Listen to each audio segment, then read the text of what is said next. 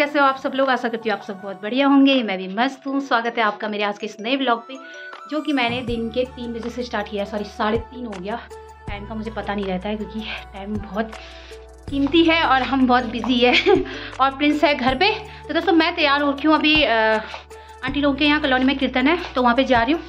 तो अभी चलिए, थोड़ा कीर्तन भजन सुन के आते हैं। चलिए, दोस्तों, मैं जा रही हूँ अभी। पैदल पैदल।